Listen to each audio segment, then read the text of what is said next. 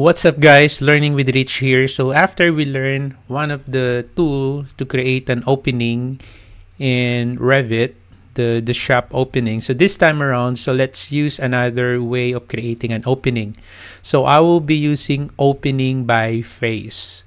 Okay, so it creates an opening that is perpendicular to the selected face of a roof, floor, or ceiling and in our case right now so we are going to create an opening to the beam using opening by face. And then after that we are going to add uh, stiffener. Okay so stiffener usually you add that to strengthen the opening of the steel beam. Okay just to give you an idea. So what we are going to do is here on the entryway uh, entryway area. So I'm going to open the 3D view and then zoom into that area here.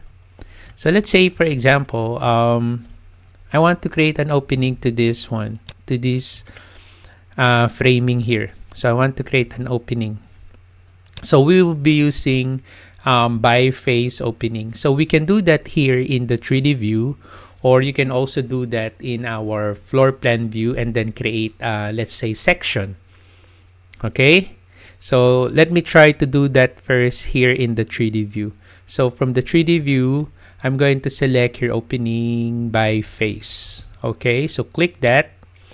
And then after that if you are going to look at the status bar see here at the status bar so it's say select a planar face of a roof floor ceiling beam or column. Column so opening will cut perpendicular. So let's hover our, our pointer. So make sure it highlights like this, the face. Okay, that one. So once you see that, you click. Okay, so once you click, you will now be going to the create opening boundary contextual tab wherein again you will be seeing here several options to create your sketch so I'll just use rectangle here click that and then let's create here our opening. So let's say opening like this. So I'm gonna make this let's say uh, five inches. And then this one uh, two feet. Enter. So that's it. Okay? If you want to further modify that so let's say you're having a difficulty doing that in the 3d view you can always uh, create that in the uh, 2d view in the floor plan and then you can create the section. So we are i'm gonna show that to you later on. Okay so after that the next thing that i'm gonna do is um i'm gonna finish. That's it. Okay? So that's how you create an opening using uh opening by face. Okay? So you can still edit that. You can click that opening. Again you can still edit the sketch. Or let's go to the floor plan. And I believe it's somewhere here. So there's the opening. So what I'm gonna do is I'm going to create a section there. So click section from the quick access toolbar and then create a section here. You pick two points and then you can adjust the boundary of your section like that. Okay. There you go. And then just like your elevation, after you create your section, it will gonna be added here on your project browser. So you can either double click the section here to open or double click that uh, shaded area, double click, and there you go. So let us turn the detail level to fine so that we can see clearly our model. There you go. Okay, so there's our opening. So like what I've said, so you can always select that you can edit the sketch if you want. Okay and then if you want that to be placed at the center you can just create a line. And then you can use that as your guide. But of course you need to delete that later on. So we are just using that as a guide.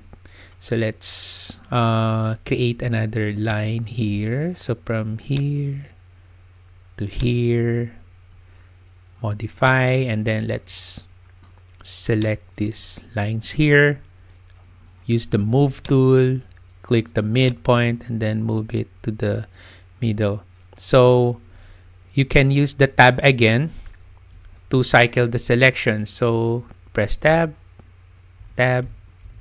So it doesn't highlight the midpoint. So that's why I'm gonna turn off the constraint here. Okay, there you go. So there's our midpoint. So you click that and then select modify. And then after that, let's delete the lines that we have created. Okay. And then just finish again. There you go. So in 3D view, this is how it looks like.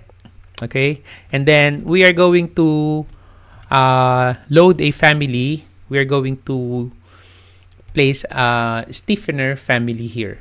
Okay. So in my uh, structure tab, so there's the component dropdown. So you click that. So we are going to place a component stiffener family. So let's select that Okay, so in this exercise, it's already created so that it will not take a lot of time. So there's the linear stiffener plate.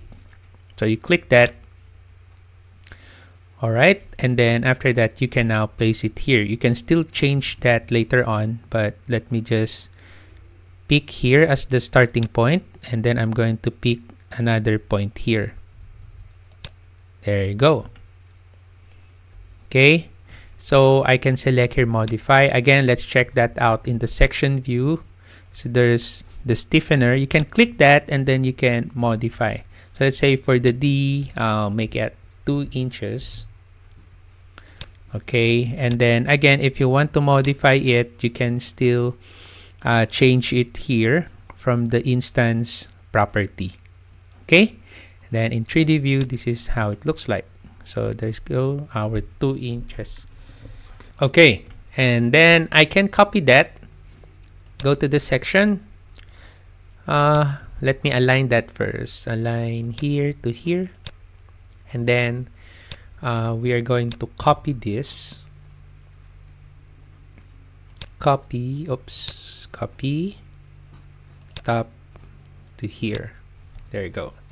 And then 3D view, there's your stiffener family.